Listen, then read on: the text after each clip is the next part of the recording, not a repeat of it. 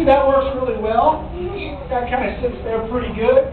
Matter of fact, you can turn it around this way and that way, and it just kind of stays there. So, yeah. It works. It works.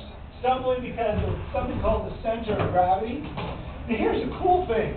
Here's, here's the real cool thing. It turns out that everything, everything has a center of gravity.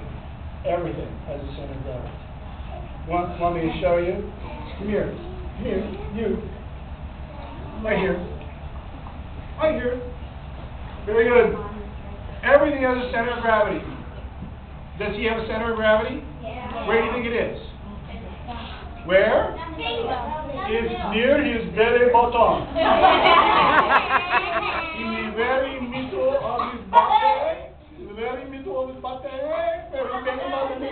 That's where the center of gravity is. And that's really important. That's really important because because where that is, he's able to stand here on the floor okay. As a matter of fact, he's going to prove how important that is because I'm going to ask him to bend over and touch his toes. Stand up and bend over and touch your toes.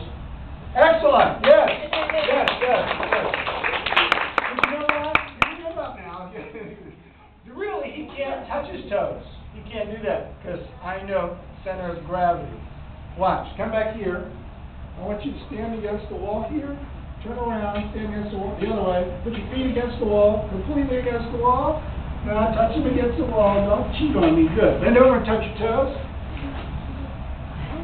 Now, no! Now keep. Ah, oh, you're a cheater. Stand straight. Bend over and touch your toes. Come on.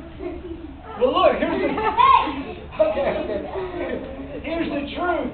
If you stand, you can all try this. You stand against the wall, put your heels against the wall, and try and bend over and touch your toes.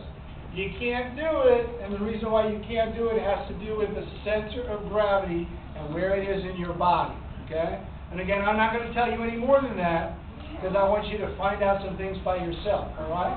It's called the center of gravity. Thank you, sir. Let me just show you this one time, though.